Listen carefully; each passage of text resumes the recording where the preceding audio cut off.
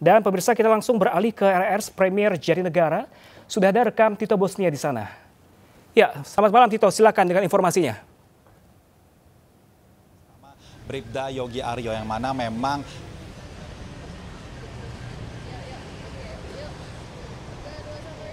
Ya, baik Pram dan juga pemirsa, selamat malam hingga saat ini memang masih ada satu lagi korban luka yang dirawat secara intensif di Rumah Sakit Premier Jatinegara Jakarta Timur yaitu atas nama Bribda Yogi Aryo yang mana memang dirinya masih berada di lokasi ini dan tidak dipindahkan ke Rumah Sakit Said Sukanto Kramat Jati karena kondisinya masih belum stabil. Dirinya mengalami luka parah dari hingga dan menjalani dan ini terus dirawat secara intensif.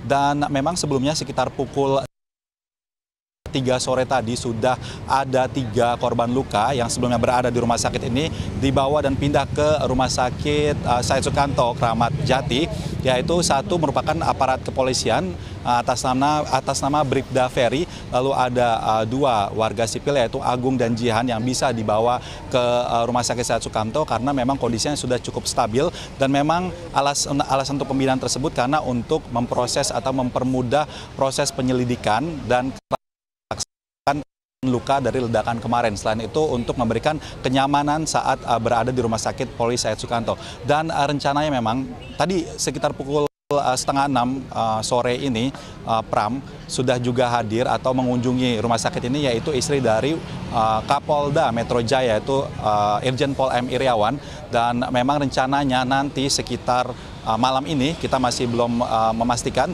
namun uh, rencananya uh, Wakil Presiden RI Yusuf Kala dan juga apabila memang ditemani dengan uh, Presiden Joko Widodo akan hadir dan juga datang untuk menjenguk dari uh, Bribda Yogi Aryo ini. Demikian Pram yang dapat kami sampaikan.